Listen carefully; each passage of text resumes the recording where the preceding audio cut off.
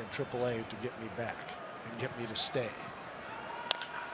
Blasted to left center field. Suzuki drives one deep. It one hops the wall. Grossman scoring. Rosario coming home. Throw to the plate, not in time.